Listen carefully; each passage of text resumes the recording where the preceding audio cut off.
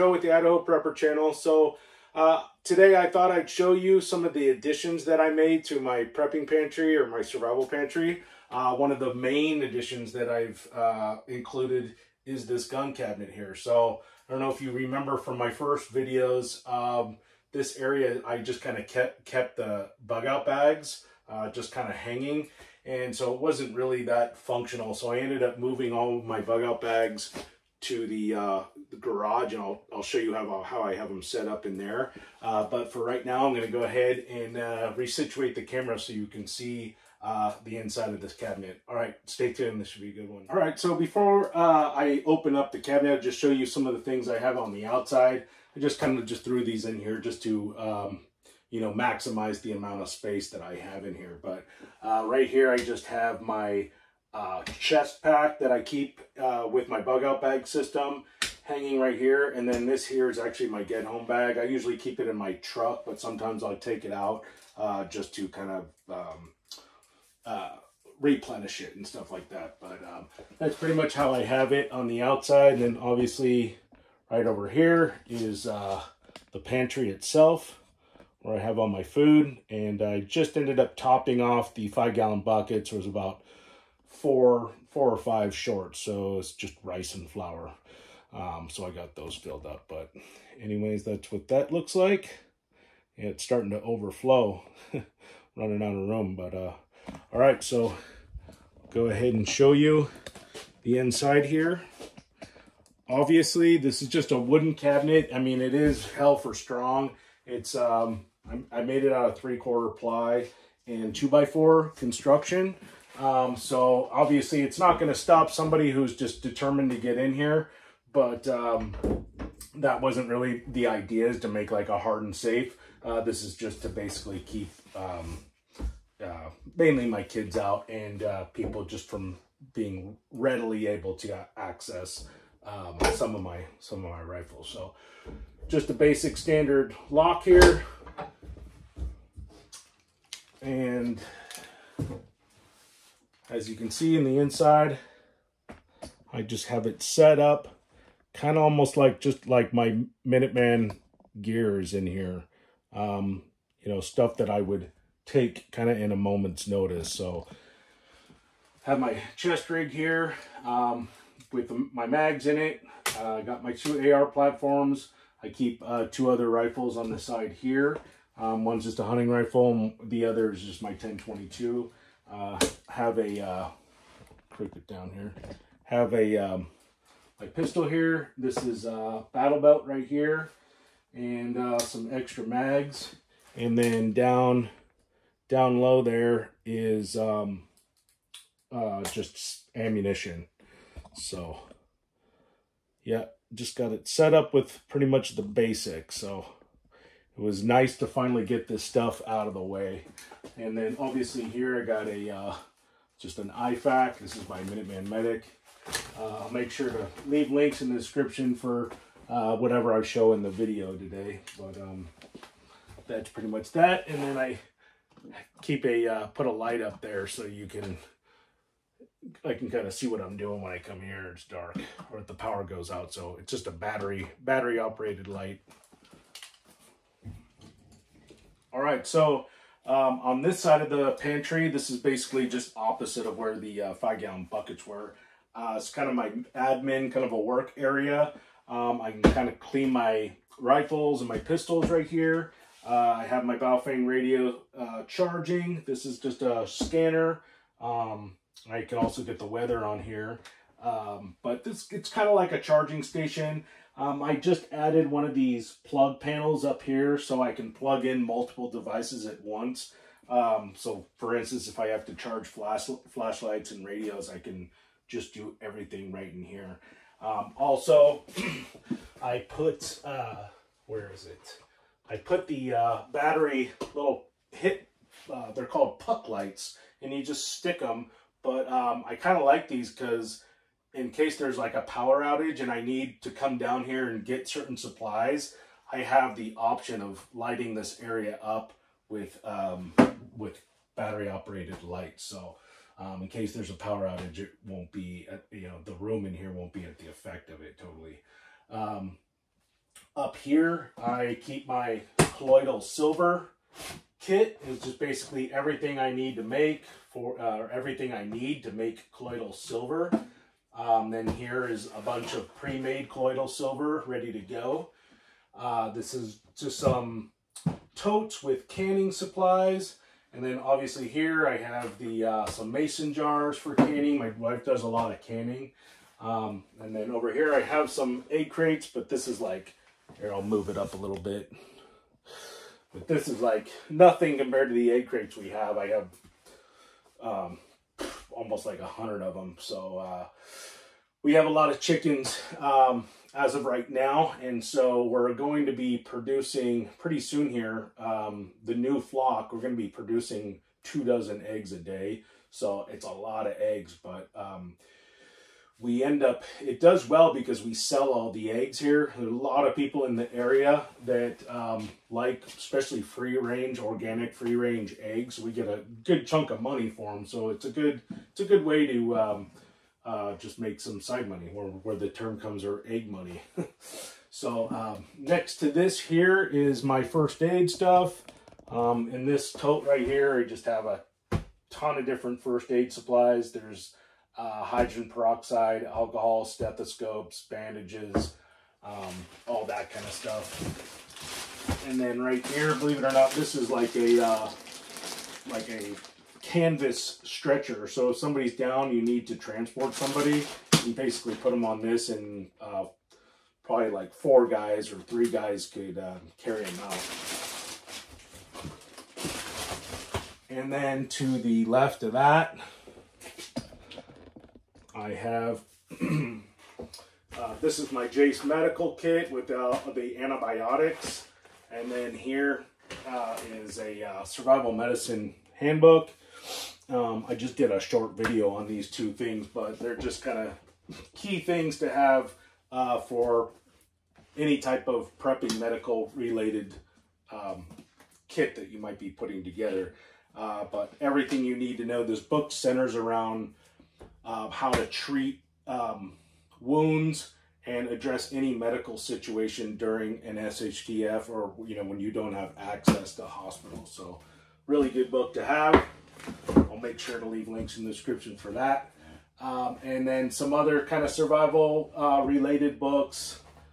This is just a, this is a great kind of survival book here. Kind of, my daughter loves this book because there's just lots of pictures, but it tells you how to pretty much do everything. Build shelters, uh, tie knots, how to process game, how to cure game.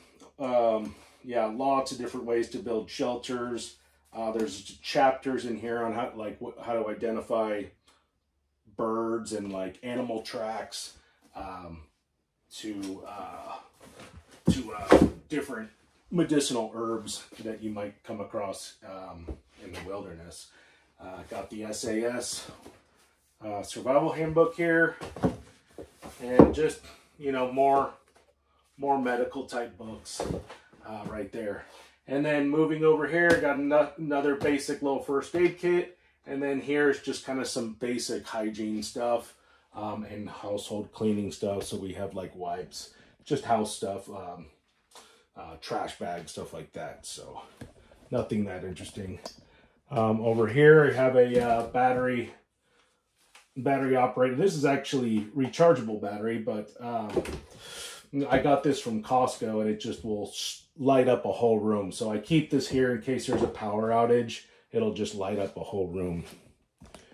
And then moving up here, I actually just keep that 12 gauge here uh, for turkey hunting because in case the turkeys end up on the property, I can just access it really quick. And then, uh, let's see, I guess I'll just put the camera up here, but I have my food saver. Uh, there's a canner uh, up there. That's a food dehydrator. And then there's my meat grinder. That's a pressure canner. And I got a meat slicer. And then this is all my stuff for storing food. So my iron for sealing the Mylar bags and uh, the Mylar bags themselves, oxygen absorbers, all that stuff. And then over there is a big blender I keep and I use that Um, that blender is actually specifically for uh, making uh, my laundry detergent. So pretty much everything in here is is totally prepping related. Um, and then over here I have my box freezer. Um, it's almost full, not quite full, but um, yeah, I just keep our basic meats in there. Um, over, all right, over here is just my gun cleaning supplies. So I got Ballistol, a lot of cleaning, you know, just all my stuff to clean rifles. I pretty much do it in here. Um, and then right over here is just um, like miscellaneous, a lot of miscellaneous like electrical, like chargers, stuff like that. But mostly everything in here is for my, uh, for all my comms. All my Baofeng radios and two-way radios are pretty much in there. I got some spare cell phones in there and stuff like that. Um, and then over here, this is just kind of a miscellaneous bucket of different prepping prepping items. So I have some extra filters for our um, for our gravity fed water filter upstairs. Um, I have some, oh, I have like paracord, all that kind of stuff. There's tape, um, stuff like that. And then right here, this is all batteries. So it's just packed full of batteries.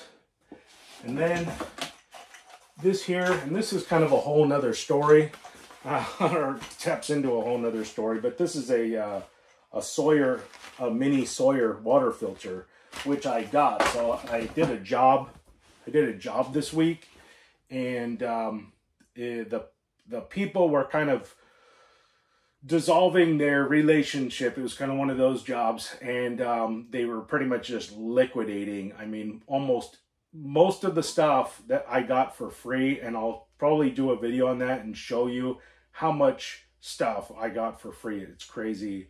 And then um, one of the things that I got, which I'm just super excited about, is a log splitter. I didn't get it for free. I had to work. I did about a day and a half of work for that, but uh, it was like a brand new wood splitter, 27 ton wood splitter. So, um, yeah, I'm just excited about that. But uh, definitely make a video about that. Okay, so moving over, this is pretty much the tail end of the pantry here, but um, this actually is a uh, is kind of like it's like a bug out tote for the kids. So I keep I keep a bunch of stuff in case you know we all have to evacuate the house as a family. Um, I have a lot of stuff in here. There's like coloring books for the kids, uh, extra change of clothes for all three kids with their with their uh, backpacks, and uh, there's water and food and um, all kinds of stuff to kind of keep them busy in case of emergency if, uh, while we're on the road. Um, over here is just some some like orange juice, different juices, stuff like that. Got some organic protein powder, case of top ramen. That's uh, applesauce for the kids. Um, like I said, I mean, this is like a working, it's a working pantry. So most of the stuff we eat on a daily basis um, so keep a bunch of macaroni and cheese, stuff like that. Uh, a bunch of coffee, although I'm running low on coffee, I usually keep like three or four of these at one time. And then we have, this is actually all tea, like green tea. And then um, all this back here, or a lot of it is just spices. So like pepper, salt, um, gar garlic powder, stuff like that. And then up above, I have hot chocolate, and then it's just kind of getting into more of the cases of food. Uh, but there's just like cases of tomatoes, corn, beans, um, olives, Campbell's soup, chicken broth, just a ton of stuff. I have um, a bunch of pineapples. There's a lot of canned fruit up there as well. And then, believe it or not, behind behind all that is uh, just there's two, well, yeah, about two more rows um, of all my freeze dried fruit, all my freeze dried food. So I have cases of number 10 cans of like Mountain House and um, and food that I got from uh, LDS from the LDS canning canning uh, company. So yeah, that's uh, pretty much it. I'm trying to think there's anything I missed here. Um, oh yeah, and then under here, kind of run a little low, but I usually keep uh, underneath the uh, workbench here. I'll keep this, this is usually all water and uh, toilet paper. So I'm about one case of toilet paper short from what I usually like to keep on hand. Um, and I'm really short on bottled water. Although bottled water isn't really something that um, I store from a prepping standpoint, although I should, um, especially, you know, in the winter time. We do have a creek, we have a well, and um, we have a lot of different means of like accessing water. We actually have a water catchment system on our back garage. Um, so we have like three other, three different ways of uh, getting water. And we have a generator in case the power goes down and the well isn't working. We have a generator which will kick the well back on and we'll still be able to access water. So it's just the water thing isn't isn't something I'm too too worried about. So I don't usually um, store it, you know, in a in bottle form. So okay, so now I'm in my garage and we're looking back towards the pantry. Um, but like I said, um, I ended up putting our bug out bags on this side of the wall. So um, kind of the idea as a family, if there's an emergency, like say there's a fire, um, our our plan, or the outline of our plan is we would come out um, once everybody is, you know, once we have everybody, we come through here. This whole corridor basically has everything that we would need to get out in a hurry. So the first thing we would access is like we have cash on hand and then all of our sentimental stuff uh, like pictures and family heirlooms and stuff like that is in a safe. We would access that. Then we come in here. We take whatever, we take the uh, our bug out bags. We take the um, the bug out tote that I showed you, whatever food we need and then uh, my rifles and stuff like that. And then the last thing we grab would be our bug out bags. And then everything, because the car backs up into this garage, everything would just go straight into the back of the trunk and we'd be out of here. So um, I've timed it before. We I could pretty much get the whole family out with all of our clothes and everything we need um, under five minutes. So uh, it just makes for basically a really fast exit exit strategy. All right, you guys, I hope you enjoyed the video. Like I said, um, I'll make sure to leave links in the description uh, for some of the stuff that I showed you on this video. And um, if you haven't done so already, please thumbs up this video and subscribe to my channel.